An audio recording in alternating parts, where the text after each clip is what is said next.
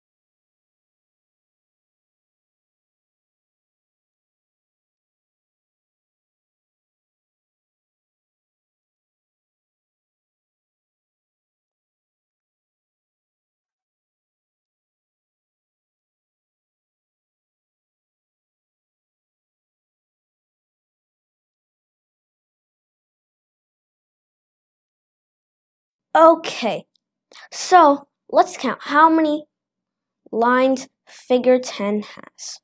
So, lines, dots. So, let's count how many dots figure 10 has. 1, 2, 3, 4, 5, 6, 7, 8, 9, 10, 11, 12.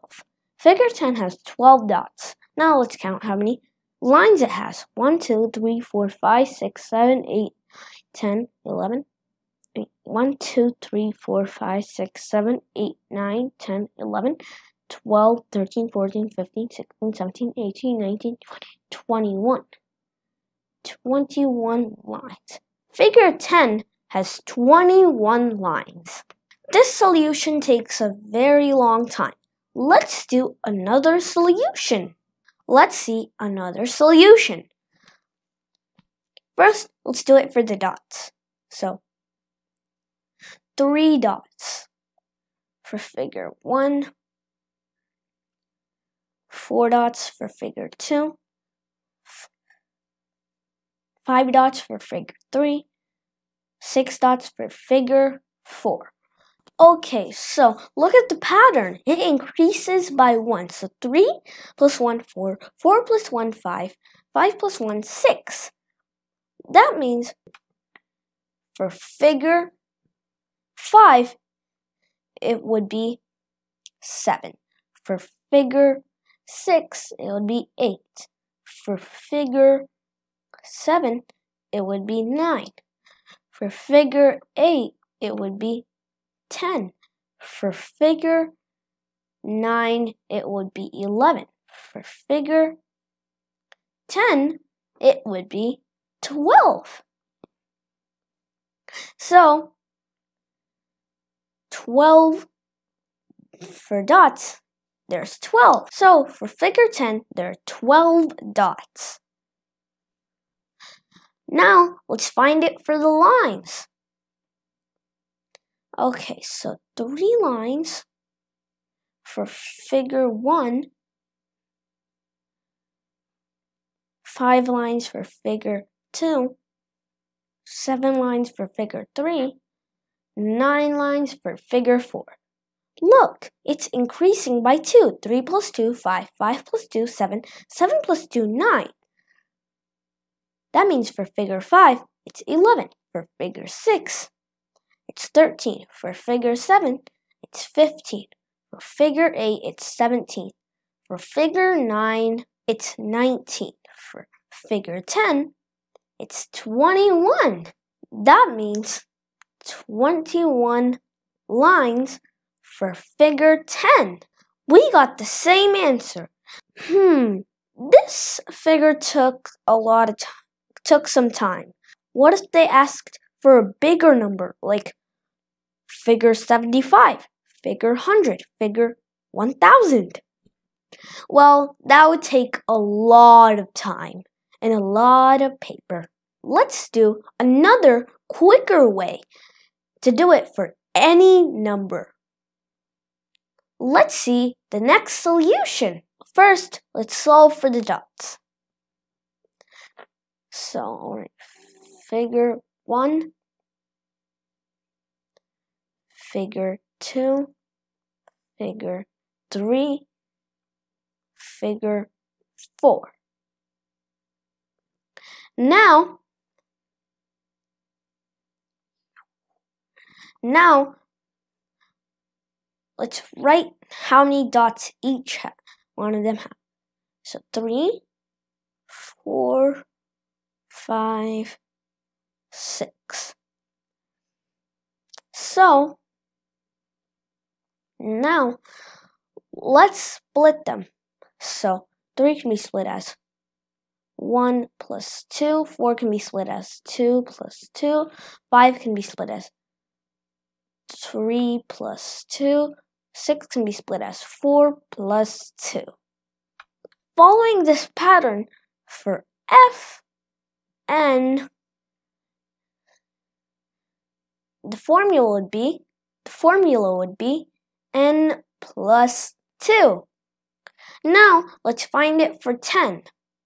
For figure 10, 10 plus 2 equals 12.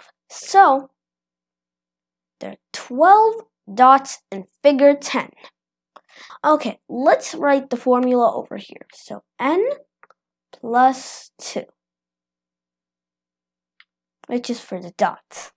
Let's solve for the lines. Okay, so, three lines, figure 2, 5 lines, figure 3, 7 lines, figure 4, 9 lines. Let's split the numbers. So 1 plus 2, 1 plus 4, 1 plus 6, 1, 1 plus 8. This also can be written as 1 plus 1 times 2. This also can be written as 1 plus 2 times 2. This can be written as 1 plus 3 times 2.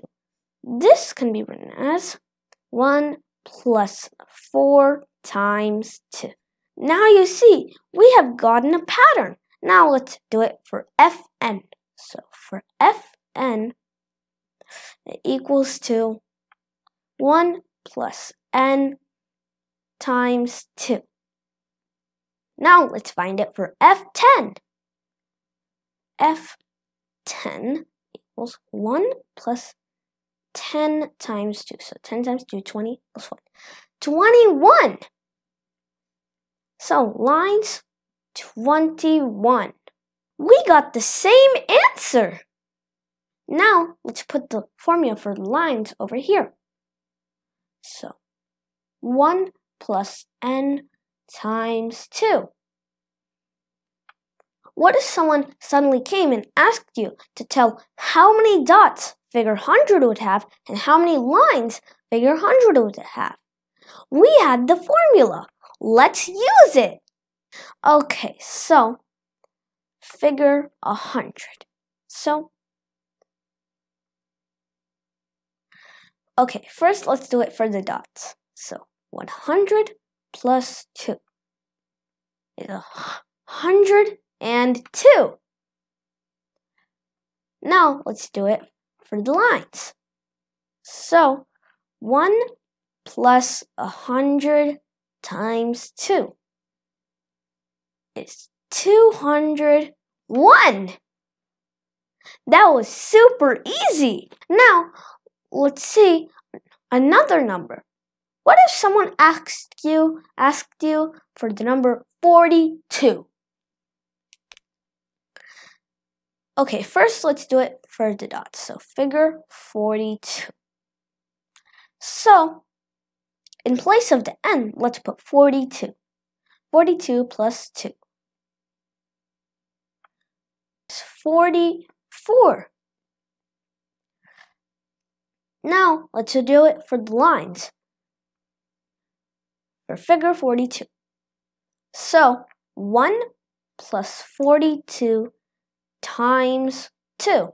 So 42 times 2 is 84. 84 plus 1 is 85. Let's keep doing math every day and subscribe us.